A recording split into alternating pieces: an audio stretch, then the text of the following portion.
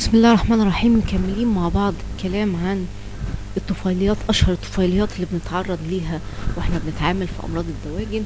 بعد ما اتكلمنا عن الكوكسيديا المرة اللي فاتت هنتكلم عن برضك طفيل وحيد الخلية مقارب جدا ليها في الصفات والخصائص وال life cycle بتاعته إنما في اختلافات ما بينهم وما بين بعض وهو ال cryptosporidiosis ال cryptosporidiosis يمكن مرض ما بنتكلمش عنه كتير قوي أو مش ظاهر في الصورة قوي لأن هو إصابته وانتشاره ما هياش موجودة بنفس العنف الموجود في الكوكسيديا.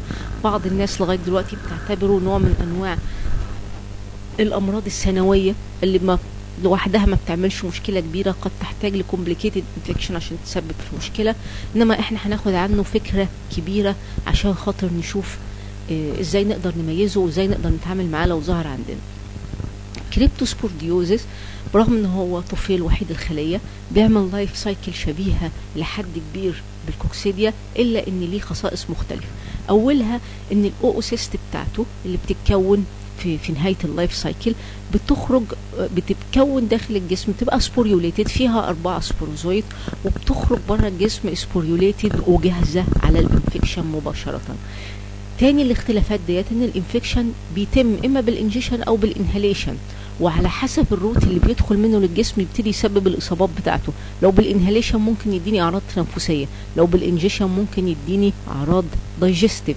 وبيوصل لمجموعة من ال organ الأخرى زي مثلا ممكن ألاقي له إصابات في الأمعاء في ال bursa of Fabricius ويعمل لي inflammation خفيف في ال cloaca في ال proventriculus في ال respiratory system زي ما اتفقنا ده بيعتمد على ال route of infection الاختلاف الثالث كمان إن هو ممكن يصيب لي كذا host نفس النوع الواحد ال species الواحد ممكن يجي لكذا host ممكن يجي لل chicken ممكن ألاقيه في ال water fowl ممكن في التركي أو ممكن في ال quails هو بس الاختلاف آه إن الاختلاف ما بين ال species هو هي بتيجي في أنهي مكان وعن طريق أنهي route وتقدر تعمل multiplication في أنهي organs عندي.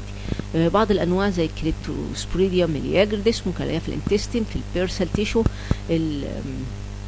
الجلي ممكن الاقيها في ال proventriculus طيب ال oocyst أصغر كتير. من ال oocyst بتاعت الكوكسيديا وإن كانت لازال لا تزال مرئية تحت ال light microscope. بس لأنها صغيرة وبيبقى من الصعب جدا إن أنا أعمل لها spotting direct smear زي ما بيحصل في حاله الكوكسيديا فأنا بضطر إن أنا أستخدم acid fast stain زي Ziehl-Neelsen مثلا أو غيره عشان خاطر أقدر أميزها باللون الأحمر زي ما أنتم شايفين في الصورة على الخلفية ال blue آه دخلنا فحص أعمق research أو فحص بال histopathology ببتدي ألاحظ ال stages بتاعت ال life cycle عندي بتبقى موجودة على ال superficial epithelium لو بصينا على ال life cycle بتاعتها سريعا هنلاحظ إن ال sporulated oocyst بتخرج ال sporozoite ال sporozoite يبتدي يديني ال type 1 meront زي ما اتكلمنا المرة اللي فاتت على ال life cycle بتاعت الكوكسيديا.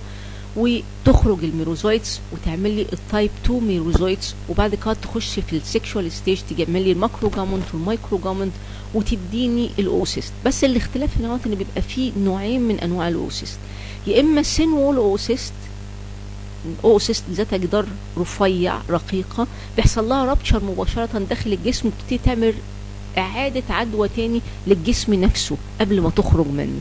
بيقولوا عليها auto infection أو reinfection بينما ال thick wall oocyst هي دي اللي بتستحمل ما بيحصل لهاش rupture لغاية ما تخرج من ال host وتبتدي تنزل في ال environment مستنية ال host الجديد إن هو يجي ياخدها.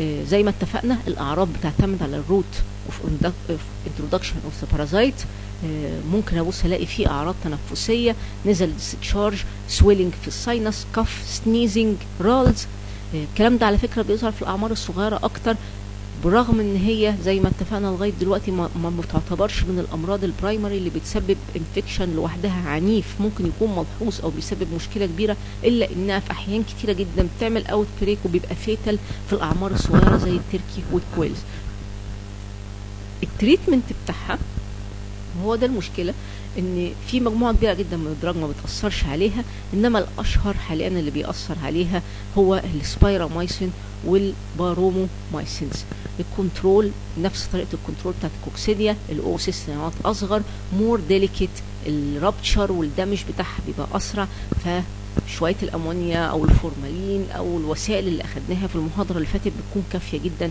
إن إحنا نقدر نتخلص منها. نتكلم على protozoa تانية بردك وحده الخليه بس إحنا دلوقتي هنبتدي نتكلم على ال flagellate. والشكل ده طبعا أنتوا عارفينه ودرستوه كتير اللي هو شكل الكمثري اللي بيبقى ليه flagella flagellate بتعوم بنشوفها بتتحرك تحت الميكروسكوب في حركات مختلفة وأشهرهم عندنا في الدواجن هي trichomoniasis. trichomoniasis ديت إما إن إحنا بنلاقي Trichomonas gallinae اللي هي بتعمل ال canker في ال pigeon في الحمام ودوت بتبقى مشكلة كبيرة جدا ومنتشرة عندنا بشكل كبير أو إن هي بتبقى في Trichomonas gallinarum اللي إحنا ممكن نلاقيه في التركي يعمل enteritis ويعمل liver necrosis في التركي. هنتكلم عن المشكلة في الحمام لأنها في الحقيقة واحدة من أكبر المشاكل اللي موجودة عندنا نقعد في مصر. أنا أقدر أقول إن في نسبة كبيرة قوي من الشكاوي اللي بتيجي للحمام بتبقى مرتبطة بوجود ال parasite دوت. الفكرة كلها إن ال parasite دوت بيبقى موجود في ال crop بتاعت ال adult bird في crop أو في GIT بس بتبقى متركزة في ال crop بالذات. وال adult bird بيبقى already تعرض لها من فترة وعنده مناعة ضدها ما تقدرش تعمل جواه أي inflammation أو تعمل أي جواه أي مشاكل فهي قاعدة موجودة ك ك ك inhabitant جواه.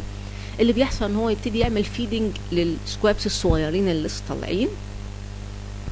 فبينقل ال parasite دوت لل squabs الصغيرين. في ال squabs يبتدي ال parasite يدخل المنطقة المخصصة ليه ويبتدي يعمل multiplication ويعيش. يبتدي يعمل لي نوع من أنواع ال inflammation العنيف جدا. ال inflammation دوت بيصحبه ريحة سيئة بيصحبه آه كمية كبيرة قوي من ال dead tissue اللي بتعمل لي caseated material وال caseated material ديت بتمنع الطائر الصغير من إن هو يقدر يبلع الأكل أو المية اللي المفروض بياكلها بتوصل لدرجه إن هي بتعمل له انسداد كامل في الزور بالإضافة لإنها ممكن تعمل نفس ال inflammation ونفس ال damage في أورجان تانية موجودة في أجزاء جسمه الداخلية زي ما هنشوف دلوقتي فبتؤدي في النهاية للوفاة. الشكوى مشهورة جدا عندنا في الفيلد بتاعنا إن بيجي صاحب الطائر بيقول إن أنا كان عندي زغاليل وكانت كويسة جدا وبتكبر ووصلت لحجم كويس وبعدين فجأة ابتدت تنشف جسمها يبقى ناشف وتخس وبعد كده بتموت. طبعا دوت بيبقى نتيجة إن حصل انسداد في الزور فالطائر الصغير لا قادر ياكل ولا قادر يشرب فبيحصل له جفاف ويبتدي يخس في الوزن لغاية ما تحصل الوفاة. الأعراض مش قادر يبلع ريحة وحشة طالعة من البق بتاعه. لو فتح البق بتاعه بص هيبص تلاقي فيه cheesy caseated material موجودة. يمكن الكلام دوت بيبقى ظاهر جدا في الحمام. الطفيل دوت برغم إن هو بيعدي بردك سواء ال chicks الصغيرة أو ال poults ال turkey الصغيرة إلا إن هو بيعمل أعراض أخف بكتير. قد يكون في pendulous crop قد يكون في bad odor من ال mouth بس ما بتوصلش ابدا لل signs العنيفة اللي إحنا بنشوفها في الحمام. لو إن إحنا جبنا المشرط وابتدينا نفتح الطيور اللي هي ماتت ديت هنبص نلاقي ال caseated material وال sloughing tissue دوت موجود في كل حتة. بتبدا من ال sinus للمنطقة بتاعة ال pharynx وال mouth نازل على ال esophagus موح واصل لل crop وممكن يوصل كمان ال proventriculus ال parasite ممكن يخرج ويروح لأي organ داخل الجسم. ناس كتيرة قوي بتشوف ال inflammation وبتشوف ال caseation دوت في الحمام وما بيبقوش قادرين يعرفوا يا ترى دوت إيه. لأ هو مش متركز ابدا على المنطقة بتاعت ال upper GIT لأ ده هو ممكن يخترق ويوصل لأي organ ويبتدي يعمل فيه ال inflammation ويعمل فيه الدمج بالنسبة لل chicks الصغيرة أو ال poults الصغيرة لأ ال inflammation دوت يا دوبك بيعمل لي ulceration ممكن أشوفها في ال crop أو ممكن أشوفها في ال liver. إنما نادر ما بيغادر المنطقة دي. زي ما أنتم شايفين في الصور اللي قصادكم الصور اللي فاتت ادي المنطقة بتاعت الزور وادي ال caseative material ادي ال beak بتاع الطائر caseative material واصل لغاية ال esophagus ننزل تحت العملية مستمرة ادي المنظر في ال liver. طبعا ده بيبقى devastating وعنيف جدا وبيتسبب في موت الزغاليل طالما ما اتعملت ما, ما تمش ما تمش علاجه بشكل سريع. طبعا العلاج سهل. أي حاجة flagellated بيقضي عليها المترونيدازول فاحنا بنستخدم المترودينازول لمدة خمس أيام على المية أو في بعض الأحيان بنستخدم ال copper sulfate بس ال copper sulfate لازم نبقى حريصين في استخدامه في التركيز اللي إحنا بنستخدمه عشان ما يتسببش في حالات تسمم لأن هو بيبقى سام وبالذات للطيور الصغيرة. parasite آخر flagellated بردك وحيد الخلية و flagellated اللي هو ال Histomonas Histomonas meleagridis وال Histomonas المرض اللي هو بيسببه بيقولوا عليه ال enterohepatitis أو ال typhlohepatitis لأن هو بيدخل وعن طريق ال flagellate بتاعته بيسبح في ال lumen لغاية ما يوصل لل cecum يبتدي يعمل ال inflammation فيسبب لي typhlitis اللي هو ال inflammation في ال cecum ممكن يعمل لي cecal core مشابهة اللي أنا بشوفها في حالة الكوكسيديا. وبعد كده يبتدي يوصل للل liver ويعمل فيه invasion ويعمل فيه inflammation و necrosis ولحظه دخول ال liver بيبتدي خلاص هو دخل في ال tissue مش محتاج إن هو يسبح في ال lumen فبيفقد ال flagellate بتاعته ويتحول لشكل آخر. عشان كده إحنا عندنا في ال Histomonas شكلين flagellated form ودوت اللي بيبقى موجود في ال lumen وفي ال amoeboid form اللي هو ال tissue اللي موجود في ال liver tissue form. بيجي للتركي دايما في العمر من 3 ل 12 أسبوع الأعراض درجة حرارة الطائر ممكن تبان مرتفعة بتبان قوي لما باجي أمسك جسمه. عينيه مقفولة في بعض الأعراض العصبية والأشكال المميزة جدا من الحاجات المميزة جدا اللي بتخلينا نشك فيه اللي هو السلفر كلر الديارية زي ما أنتم شايفين في الصورة. اللون الأصفر اللي عامل زي لون الكبريت اللي واضح قصادكم في الصورة. طبعا لو فتحت تشخيصه من أسهل ما يمكن لأن أنا بشوف inflammation ال cecum و cecal core وبشوف inflammation شكله characteristic مميز جدا في ال liver اللي هو circular necrotic area وال center بتاعها depressed لتحت. الصورة ديت مميزة جدا جدا ويكفي إن أنا أشوفها عشان خاطر أقدر أقول إن أنا عندي مشكلة Histomonas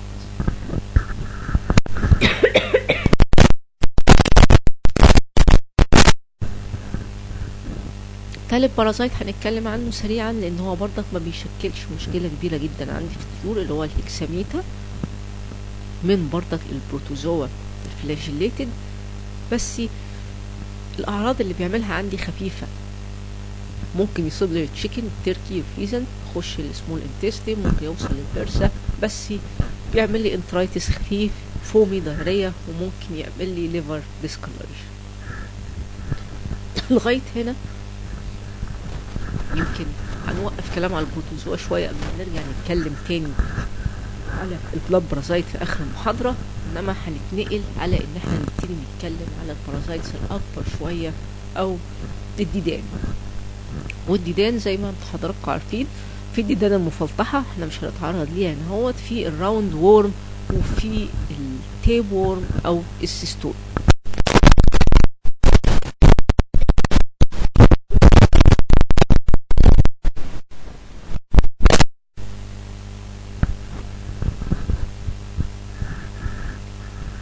بالنسبة لل round worm في مجموعة أسماء كبيرة قوي ممكن إن إحنا نقابلها دي family كبيرة بس أنا هتكلم على أشهرهم اللي موجود في الطيور الأسكارس طبعا كلنا عارفينها. ال Heterakis وال Capillaria وال Syngamus بالنسبة للأسكارس أنا زي ما اتفقت معاكم قبل كده تفاصيل ال life cycle يمكن ما تهمنيش قوي أنا هتكلم على النقاط بس اللي ممكن تهم الدكتور البيطري عشان يتدخل معاها سواء في ال treatment أو ال control إنما فيما عدا ذلك. أنا مش عاوزة تفاصيل دقيقة جدا في ال life cycle. بالنسبة للاسكارس في منها أنواع كتيرة. ال Ascar ال Ascaridia galli دي في التشيكن تركي الداكو جيز الكولومبي اللي هي بتيجي في الحمام. وبتاخد لها دورة الحياة بتاعتها ممكن تاخد حوالي شهر أو ممكن تمتد لأكتر من كده أهو. مشكلة ال ascarid بشكل عام مجموعة ديدان موجودة في الأنواع يعني هتكون بتعمل إيه؟ بتاكل الأكل بتاع الطائر بتستهلك الغذاء بتاعه تتسبب في سوء تغذية. كترها زي ما أنتم شايفين في الصورة اللي قصادكم ديت ممكن يعمل لي complete obstruction لل intestine وطبعا الطائر بالمنظر ده بيحصل له emaciation وممكن تحصل حالات وفاة. بالنسبة لي كدكتور بيطري يهمني قوي إن أنت تبقى عارف شكل الايج أنا ممكن أشوفها في ال direct smear بتاع ال feces وتميز ما بينها على أساس إن دوت ممكن يساعدك في التشخيص وفي control والعلاج. ال Heterakis اللي هي ال cecal worm أصغر في الحجم موجودة في ال cecum بتاع دي wide range من الطيور chicken turkey duck geese pheasants تعمل لي inflammation في ال cecum ممكن again يكون مشابه تاني اللي أنا بشوفه في ال Histomonas أو مع كوكسيديا وحجم الديدان الصغيرة اللي أنتوا بتبقوا شايفينها زي ما واضح مع السهم. بالإضافة again لشكل الإج بيبقى بالنسبة لي مهم. ال Capillaria اللي هي ال hair worm round worm بس حجمها صغير جدا لدرجة إن هم بيقولوا عليها الديدان الشعرية من الشعر يعني رفيعة جدا زي الشعر.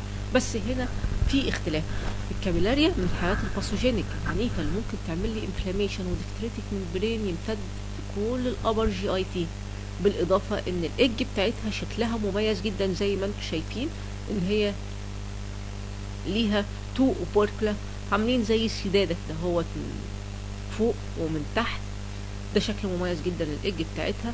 وادي المنظر بتاع الديدان موجود في الصورة اللي من تحت زي ما أنتم شايفينها رفيعة جدا وبقى رؤيتها ال Syngamus دي الدوده اللي هي ال hermaphrodite اللي هي فيها ال male وال female موجود مع بعض بشكل copulation دائم. أنتوا اخدتوه قبل كده بس إحنا فكرت بيها اللي هي بتاخد شكل ال Y shape ولونها أحمر characteristic جدا. بتاخد ال life cycle بتاعتها وبتبقى موجودة في ال trachea الدودة دي بتبقى موجودة في ال trachea عالقة بيها. بتبتدي تعمل inflammation وال inflammation دوت بيعمل tracheitis ويعمل bloody exudate يخلي ال blood يخرج مع الطائر وهو بيحاول يخرج ال secretion اللي بيحصل نتيجة ال inflammation ال egg بتاعتها برضك operculated بنحاول إن إحنا نميزها نميز ما بينها وما بين ال egg بتاعت ال Capillaria طيب أنا هتكلم عن النيماتود بشكل عام. إزاي نقدر نعالجها؟ أشهر وأرخص الحاجات اللي موجودة في السوق بتاعنا اللي هو ال piperazine citrate بس لازم نبقى واخدين بالنا إن ال piperazine citrate مؤثر بس إحنا بنحتاج إن إحنا نعالج ونصبر حوالي 15 يوم تانيين وندي جرعة تانية من العلاج لأن هو بيأثر على ال adult worm لكن ما بيأثرليش على الإيج الصغير اللي لسه هيخرج هيخرج دي. فلازم أعيد العلاج تاني. في مجموعة أخرى من الأدوية ال flubendazole ال mebendazole ال albendazole levamisole طبعا كل الأدوية دي كانت بتستخدم في العلاج وكانت فعالة إلى حد كبير. بالنسبة لل Syngamus trachea كانت تبقى لازم ليها معاملة خاصة على أساس إن هي موجودة في ال trachea. كنا بنستخدم tincture iodine أو ال Lugol solution عشان نعمل نوع من السبراي أو ال evaporation عشان نخلي الورمز ديت نستطيع إن إحنا نتخلص من الورم ديت وتسيب الجهاز التنفسي. لغاية ما ظهر عندنا الإيفرمكتين اللي هو الساحر في الطفيليات اللي بيقضي لي على كل أنواع الطفيليات سواء داخلية سواء خارجية سواء بالحقن أو على على المية بيبقى ليه تأثير فعال جدا. ال cestodes في أنواع كتيرة قوي ممكن أتعرض ليها في الدواجن. أنا هتكلم عليها كعيلة بشكل عام لأن أنا كدكتور بيطري يمكن يهمني إزاي أقدر أتعامل معاها وأعمل لها control نيجي نفتكر مع بعض الديدان الشريطيه بيبقى لها scolex وال segments بتاعتها أو ال proglottids بتاعتها بتبقى في ال immature وال mature وبعد كده هوت في ال gravid اللي هي بتبقى شايلة الايج والايج بتاعتها ذات الشكل المميز اللي حضراتكم كلكم فاكرين الكلام ده كله اللي هي بتبقى فيها ال hexacanth embryo اللي موجود في الصورة. إيه مشكلة المجموعة دي؟ طبعا هي بتقوم بنفس الدور تقريبا اللي بتقوم بيه كانت ال round worm. ديدان شريطية بتكبر في الأمعاء بتتغذى على الغذاء بتاعة الطائر ممكن تعمل لي obstruction في بعضها بيبقى خطير بيبتدي يعمل لي أعراض عصبية وخلافه. إنما المشكلة اللي عندي بالنسبة لي كدكتور بيطري هي إن ال control بتاعها بيبقى صعب. ليه؟ لأن دي داخل في ال life cycle بتاعها intermediate host ال intermediate host دوت لازم يكون موجود عشان ال life cycle تكتمل وفي نفس الوقت برغم إن أنا ممكن أعمل control وأقضي على ال stages اللي موجودة عندي داخل الطائر سواء كانت ال adult أو غيره يفضل إن ممكن يحصل عودة لل infection نتيجة وجود ال intermediate host فلازم لما أجي أعمل control هقضي على ال adult وفي نفس الوقت هقضي على أحاول أعمل control ال intermediate host اللي ممكن تنقل لي العدوى عشان خاطر أقدر أتخلص منها تماما. من أصعب الحاجات من أصعب الحاجات إن إحنا نقدر نتخلص تماما من عدوى الطفيليات في المنطقة اللي إحنا بنربي فيها. برغم إن الطفيليات كتير منها قوي يبدو إن هو ممكن يكون بسيط وإن المشكلة اللي هو بيعملها مش كبيرة قوي وممكن ما يكونش بيعمل وفيات عالية قوي إنما المشكلة بتبقى مزعجة بما يكفي بتأثر على الإنتاج بما يكفي والتخلص منها بيبقى صعب جدا. هعمل إيه مع السيستودز هبتدي أعالجهم. آه، treatment مقارب جدا للي أنا بستخدمه فيما يخص ال nematodes بس مهم قوي إن أنا بعمل حاجتين. أول حاجة إن أنا بعمل starvation بجوع ال host بجوع الطيور. لمدة 24 ساعة وساعات أكتر قبل ما أدي العلاج. اللي بيحصل إن الديدان يا إما بتكون جوه جسم الطائر وتبص تلاقي مفيش أكل. بيبتدي سبحان الله بيبقى فيه إشارة خطر الجسم ده ما بياكلش قد يكون مريض قد يكون هيموت فدوت الوقت إن أنا اغادر أغادر الجسم أمشي وأسيبه. فال scolex اللي هي مثبتة نفسها بيها جامد جدا في جدار الامعاء يبتدي يحصل لها relaxation وتبتدي ترتخي عشان تسمح لل peristalsis بتاعت ال intestine إن هي تطردها بره لعل وعسى تستطيع إن هي تجد وسيلة إن host آخر يلتقط ال gravid segment بتاعتها أو يلتقطها عشان تخرج من ال host اللي هو بيخيل لها إنها بتموت. يبتدي بعد كده ادي ال treatment بتاعي. ده بيساعدني في العلاج. طيب هنتنقل ل category تاني. ال category دوت بيتكلم عن ال ectoparasites ال ectoparasites بأنواعه المميزة قراد قمل سوس كله هنتكلم عنه بشكل سريع وإزاي إيه المشاكل اللي ممكن يعملها لي وإزاي أقدر أتحكم فيها. خلونا نتكلم على القمل القمل دوت عندي في الطيور permanent ectoparasite موجود على الطيور في أغلب أغلب الوقت ليه أنواع مختلفة كل نوع على حسب الطائر ومشكلته إن هو بيسبب لي خسائر كتير سواء في في في في, في حالة الريش أو شكله أو ال irritation اللي هو بيعمله لي للطيور أو ال tick ده بيبقى temporary ectoparasite يعني بيتغذى على الطائر بس ممكن يخرج منه ويروح يستخبى لي في الشقوق اللي موجودة في ال environment اللي حواليه وبعدين يرجع له تاني. إذا كانت ال female هتسيب ال young stage بتاعتها أو ال larval stage بتاعتها الإيج هتطلع لي ال larval stage اللي هو ليه 3 pairs of leg دوت ما بيقدرش يروح ولا يجي لأن هو لسه بيبقى صغير وعاوز يتغذى على الطائر فدوت بيبقى permanent قاعد على الطائر لغاية ما يكتمل نموه. ويبقى يا دوبك عنده اللي هي ثلاث أزواج من الأرجل والجزء بتاع ال mouth part بس. يكبر شوية يترقى ويبقى nymph بيبقى عنده أربع أزواج من الرجلين. بس وكمان بقى هيبتدي يتحرك بقى هيبتدي يتشجع ويسيب جسم الطائر ويخرج في ال environment اللي حواليه بس لسه ال sexual maturity ما تمتش لغاية ما يبقى adult.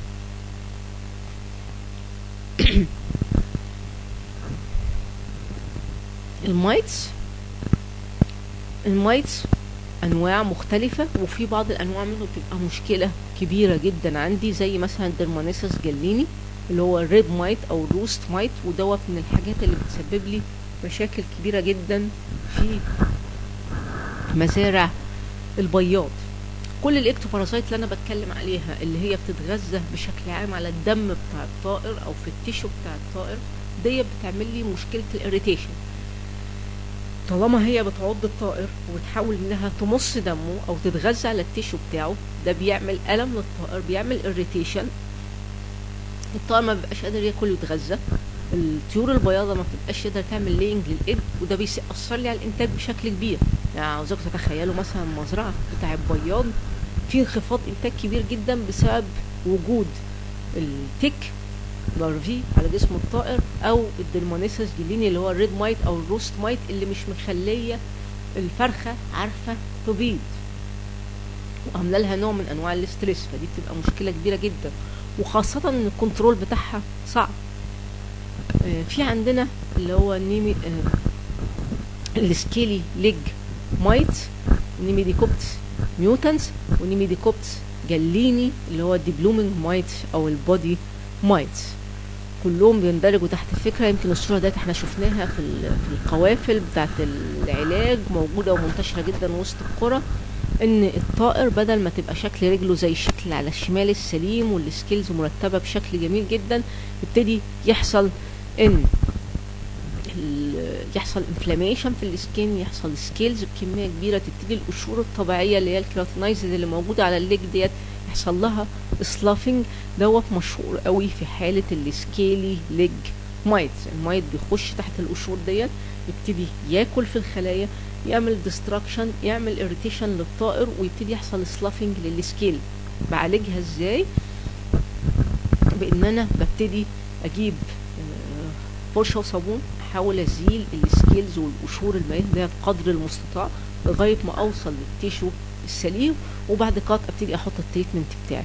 ال treatment ده سواء كان sulfur ointment أو أو حتى phenol ointment أو إديت حتى ال Ivomec سواء orally أو injection بيحل المشكلة دي بشكل سريع. طيب بالنسبة لل ectoparasites اللي هي القمل ال- ال lice وال وال mite وال ticks والحاجات دي كلها ما فيش ليها غير المبيدات الحشرية. في هنا مجموعة من المبيدات مكتوبة قصادكم يمكن في جزء منها ما عادش بيستخدم إنما ال malathion والحاجات دي كلها بتستخدم وكلها بتبقى فعالة جدا سواء إن إحنا بنعملها بال fumigation أو ال dusting أو السبراي على حسب ال form اللي موجود في ال insecticide ودوت بيخلصنا منه. بس هل هو ده بيحل مشكلة ال control؟ لا ما بيحلهاش لأن ال control بيبقى ليه آه، جوانب كتير. مش يكفي إن أنا أرش الطائر بعد ال parasite زي ما اتفقنا بتبقى temporary مجرد ما أنا برش الطائر ال insecticide بيبتدي يسيب الطائر يروح يستخبى في الشقوق وأول ما الدنيا تهدى يرجع تاني. أنا مضطر إن أنا أعالج الطائر وأعالج الأقفاص أو ال environment اللي هو موجود فيها وأتعامل مع قدرة ال parasite على إن هو يختفي آه، في الشقوق أو إن هو يختفي في ال- ال material اللي ممكن يكون فيها شقوق ويقدر يستخبى فيها زي المواد الخشبية مثلا إذا كانت عش خشب أو غيره. كل دوت لازم يحصل له control مع بعضه ويتكرر عدة مرات عشان خاطر أقدر أحاول أعمل control مش هقول أتخلص من ال parasite بشكل كامل بس أحاول أعمل له control بحيث إن هو ما ياثرليش على الإنتاجية بتاعت الطيور بتاعتي. بالنسبة للبلاد بارازايت ال blood parasite إحنا مش هنحكي فيها كتير. كل البلاد بارازايت فكرتها واحدة. بتعمل لي inflammation بتعمل لي destruction في ال RBCs وبناء عليه بيبقى فيه أنيميا بيبقى فيه hepatomegaly بيبقى فيه splenomegaly وعلاجهم مجموعة الحاجات اللي هي ال antimalarial drug ال chloroquine وال Atabrine وغيره. إنما كدكتور بيطري أنا يهمني يبقى عندك قدرة على إنك أنت تشخص أشهر الأمراض اللي ممكن تيجي وتصيب الطيور طبيعه الحال إحنا يمكن الصورة ديت ما بنشوفهاش كتير قوي في الطيور بتاعت المزارع لكن وارد إن إحنا نشوفها في الطيور بتاعت الزينة في الحمام بتاع السبق وده جزء اقتصادي ما يستهانش بيه موجود عندنا ومنتشر وبالذات في الأماكن السياحية وبنبقى حريصين جدا ان نتعامل مع الطيور غاليه الثمن ونعلي ون- ونشخصها كويس. في جدول هنا هو مكتوب فيه أهم ال blood parasites اللي ممكن تشوفها في الطيور اللي يهمني هنا هو شكل ال blood parasite تحت الميكروسكوب سواء كان داخل الخلايا أو بين الخلايا الدموية. بيأثر لي على أنهي host آه، أشوفه فين؟ هل هشوفه جوه الخلايا الدموية ولا في ال white BCs ولا ما بينهم؟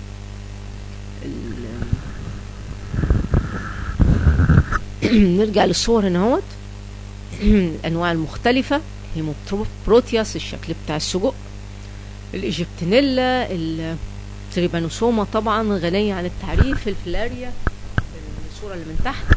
أو ال Leucocytozoons أنا يهمني أنت تبقى عارف اسم ال parasite تبقى عارف أنا هشوفه فين تحت الميكروسكوب وادور عليه فين تحت الميكروسكوب كده بتعامل مع العيلة دي كلها كعيلة واحدة والعلاج ليها بيبقى واحد. نقل معاكم الجزء تاني. اللي هو ال parasitic disease of rabbit إيه أشهر الأمراض الطفيلية اللي ممكن تقابلنا وتعمل لنا مشاكل في ال- الأرانب؟ طبعا الكوكسيديا في الأرانب معروفة. من أكبر المشاكل اللي بتيجي تعمل لي آه، خسائر كتيرة قوي في الأرانب وبتظهر بالذات في السن بتاع الفطام. الأرنب قبل ما بيتفطم بيبقى بياخد اللبن من أمه ال stomach بتاعته متظبطة بي اتش معين الفلورا بتاعته آه، مفيش مشكلة لغاية ما يبتدي إن هو يتعرض بالتدريج لإن هو ياكل ويستغنى عن الرضاعة وبيدخل له أكل مختلف وارد خلال الفترة ديت إن هو يتعرض لتناول أكل مختلف قد يكون أخضر زي البرسيم أو غيره ويبتدي يلتقط ال oocyst من خلاله وتخش جواه وتبتدي ال life cycle بتاعته. الكوكسيديا هي كوكسيديا ودورة الحياة والفكرة واحدة. في أكتر من 25 نوع بيصيبوا. الأرانب أغلبيتهم بيصيبوا الجهاز الهضمي وبيعملوا enteritis مش عاوز أسماء species يمكن ما عدا species اللي هو اللي بيصيب الكبد لأن هو ده الوحيد اللي بيروح الكبد وبيعمل life cycle بتاعته هناك اللي هو ال Eimeria stiedae. وهنتكلم عنه دلوقتي. نفس الفكرة. ال life cycle بتتم بنفس الطريقة مش هاخد في تفاصيلها تاني. يعني الأمور بتمشي هي هي زي ما بيحصل في ال chicken تقريبا.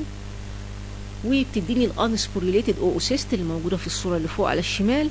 وبتخرج لل environment بقات يحصل لها sporulation بنفس الطريقة اللي بتحصل في ال chicken زي ما اتفقنا في ال intestinal form ودي بتيجي للطيور الصغيرة على عمر مثلا ست أسابيع. يعني في, في الأساس في الفترة بتاعت الفطام اللي هو بعد ما بيعدي الشهر بتاع الرضاعة دوت أو في دخلة الفترة بتاعت الفطام بتبتدي تظهر عندي الأعراض بتاعت الكوكسيديا بشكل كبير قوي وفي ال hepatic form اللي هو ممكن يظهر في أي عمر ال infective stage زي ما اتفقنا ال sporulated oocyst أنا هعدي ال life cycle إنها نفس الفكرة تقدروا تقروها على مهلكم وهبتدي أتكلم على ال clinical signs لو ال form عندي intestinal سهلة الفكرة واحدة في depression في abdominal pain ال abdominal pain على فكرة بيبان جدا آه على الأرانب.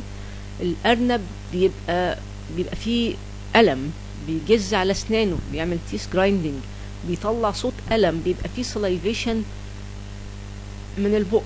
طبعا مع وجود ال diarrhea وال diarrhea بتظهر في الأرانب عن طريق إن المنطقة اللي تحت الديل بتبقى soiled بال diarrhea ممكن تبقى bloody ممكن يبقى فيه mucus كتير. الأعراض دي بتظهر خلال أربع لست أيام من بداية ال life cycle وبعد كده طبعا الأرنب بيفقد الوزن بتاعه وممكن يموت خلال 24 ساعة. الأرنب من الكائنات الحساسة جدا اللي بيحتاج تدخل وعلاج سريع جدا عشان نقدر ننقذه. ال mortality ممكن توصل ل 90% ودي طبعا نسبة أعلى بكتير قوي من اللي بتعمله ال intestinal coccidiosis بالنسبة لل chicken طب ال hepatic form؟ ال hepatic form مقارب بيحصل emaciation كبير قوي وبالذات في المنطقة الخلفية من الأرنب بيبقى فيه bloating و enlargement في ال abdomen أو تمبري بيبقى فيه constipation أو diarrhea وممكن يتبادلوا مع بعضيهم وال mortality ممكن توصل لنسبة 50% لو إن إحنا فتحنا في ال intestine في ال intestinal form هنلاقي ال inflammation ال enteritis ال thickness بتاعت ال wall ال necrotic area اللي إحنا لو أخدنا وفحصنا منها هنلاقي فيها ال oocyst في منطقة ال jejunum ومنطقة ال ileum. وال bleeding الصورة هي هي مقاربة هنشوفها في ال liver بس بنشوف ال enlargement في ال liver. ال enlargement في ال gall bladder ساعات بيبقى مميز جدا لدرجة إن بعض الناس لما بتشوفه ممكن تقول يعني تبتدي دماغها تروح لكوكسيديا على طول. وال bile duct ونبص نلاقي ال whitish characteristic nodules موجودة على ال surface بتاعت ال liver. ال nodules ديت لو إن إحنا أخدنا منها وعملنا impression smear أو squeezing ليها على slide وفحصنا بنلاقي ال unsporulated oocyst تحت الميكروسكوب. دي صورة لل enlargement gall bladder يبقى أسهل حاجة في الفحص إن أنا أعمل wet smear أو impression smear من ال liver عشان خاطر أقدر أشوف ال hepatic coccidiosis أو إن أنا آخد دايت سمير من ال intestine أو من ال dropping بتاعت الأرنب عشان خاطر أقدر أشوف ال intestinal form أو أشخص ال intestinal form ال treatment لازم نبقى عارفين إن الأرانب كائنات حساسة مش كل أنواع العلاج والمضادات الحيويه اللي إحنا بنقدر نستخدمها مع ال chicken ينفع نستخدمها مع الأرانب؟ في حاجات بتبقى safe وإحنا بنفضل نستخدمها. الأشهر في الأرانب ال sulfa. ال sulfa من الحاجات ال safe جدا بأنواعها المختلفة واللي ممكن تدينا نتيجة كويسة جدا مع الكوكسيديا. بعض الأحيان بنضطر إن إحنا نستخدم ال toltrazuril أو غيره الانواع الأقوى شوية بس يعني يمكن بنخليها خيار أخير بعد السلف.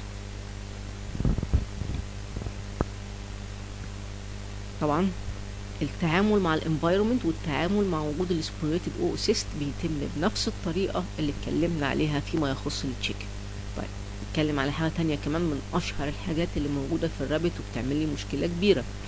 ألا وهي الجرب ال Sarcoptic scabiei اللي حضراتكم درستوه وبيعمل مشاكل مع جزء كبير قوي من الكائنات الحية اللي أنتوا لها ودرستوا لها في الكلية. ال Sarcoptic.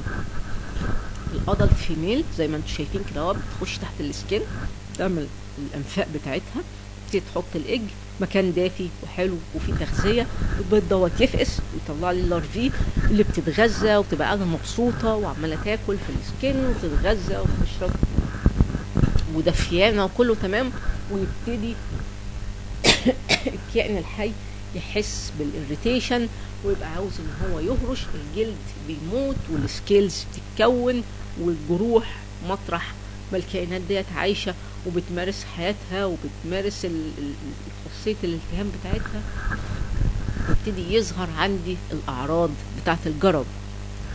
تظهر الأول في شكل جروح الجروح ديت بتظهر على المناطق اللي هي قليلة في الفرو اللي ال parasite بيقدر يدخل ويقف عليها بسهولة زي مثلا منطقة ال lips ال nose آه، حوالين ال neck بيبتدي يحصل scratching من rabbit الأرنب بيهرش لأنه حاسس بال irritation يبتدي يتكون ال crust طبعا مع الهرش والجروح. ممكن يحصل secondary bacterial infection الشعر بيبتدي يقع في المناطق ديت. يعني يمكن هيبان في الصور التدريج أدي بداية ظهور ال crusts أو ال inflammation أدي شكل الجروح وأدي ال alopecia ال- ال- الشعر أو الفرو اللي بتبتدي يقع وال scales ال scales بتتكون وتتجمع وبيبقى شكلها عنيف جدا.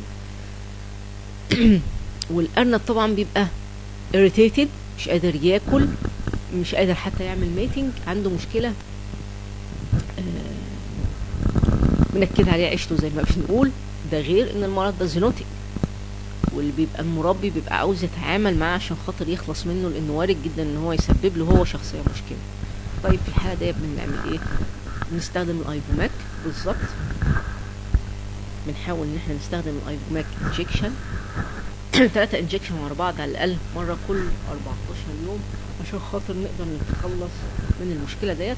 بس إحنا بننبه إن ال Ivomec ما ينفعش إن هو يستخدم مع الأرانب ال pregnant إن هو بيعمل تشوهات وممكن يؤدي أو في الغالب بيؤدي لموت الأجنة.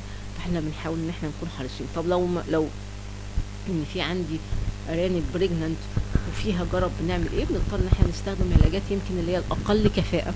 بس اللي بتهدي الأمور شوية أو بتعالج الأمور بنسبة مش بطالة لغاية ما ال pregnant female ديت تجيب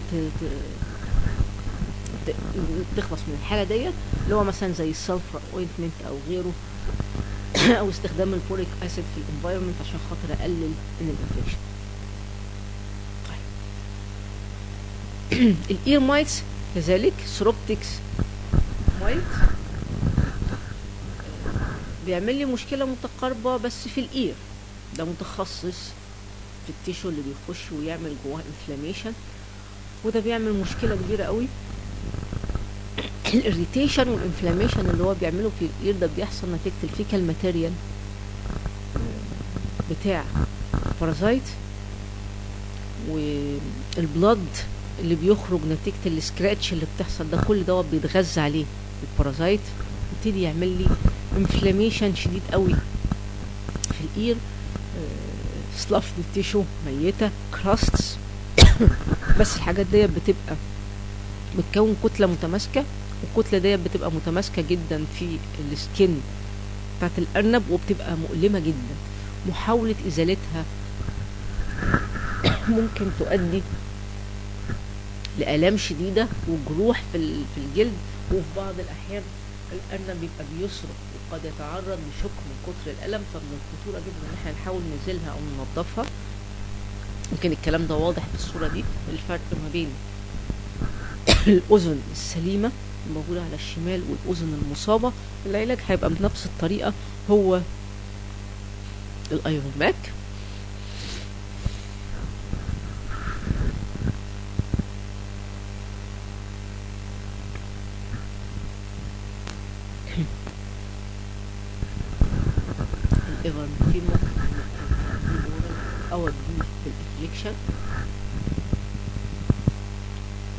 لازم ناخد بالنا برغم من فعاليته دوت إلا إن هو ما بيقدرش يقتل الايج وبناء عليه.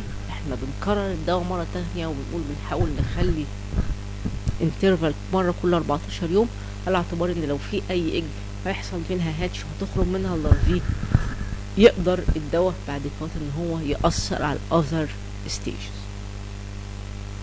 Non-burrowing mites. برضك دي تعتبر مشكلة مهياش عنيفة قوي إن ال females بتنزل الايج بتاعتها على ال hair. المشكلة دي بتأثر لي على ال hair بتعمل لي قشرة في الشعر بتوقع لي الفرو بتاع ال rabbit وبتبقى مشكلة حقيقي. آه، بتمثل لي مشكلة يمكن في, في, في الأرانب بتاعت الأرانب بتترب- بتف- بتتربى عشان الفرو الكثيف بتاعها. بيبقى فيه التهاب في الجلد بيبقى فيه itching بيبتدي الفرو ده يقع. كل دوت بيسبب لي مشكلة كبيرة بالنسبة للنوعية ديت من الأرانب وبتعامل معاها في العلاج بنفس الطريقة. بقى الجزء الأخير واللي هنتكلم عنه سريعا إن في بعض ال parasites دوت ما بيبقاش